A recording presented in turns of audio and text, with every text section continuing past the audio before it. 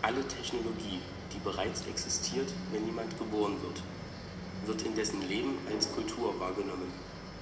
Alles neu hinzukommende als Technologie. Alan Kay